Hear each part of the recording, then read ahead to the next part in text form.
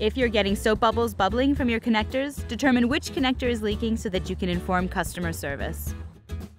Be sure to turn off the tank and disconnect the gas line. If there is gas coming out of the pressure release valve, this is due to high pressure in the propane tank. Turn off the oven and the tank and disconnect the gas line. Contact customer service.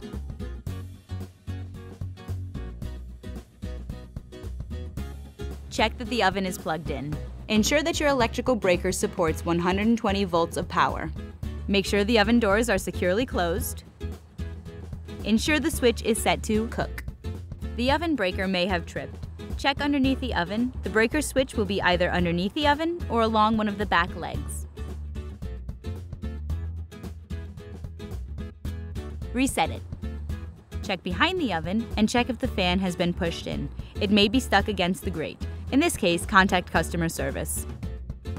If after 15 minutes the red light has not turned on, ensure the switch is set to cook. The fan will sound and the igniter will make a clicking noise. Wait for the clicking noise to stop.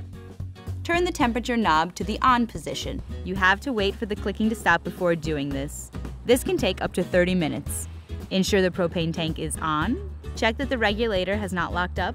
Turn off the tank, remove the male quick connector, you'll hear a small whish. Tap the regulator, listen for a long whoosh. Reconnect and slowly turn on the tank. Ensure the gas line is straightened out.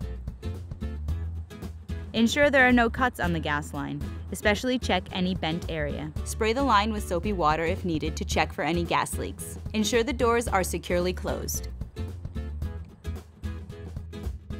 This can take about 15 minutes. Patience is a virtue, but if you're all out of patience, double check the propane tank is properly connected.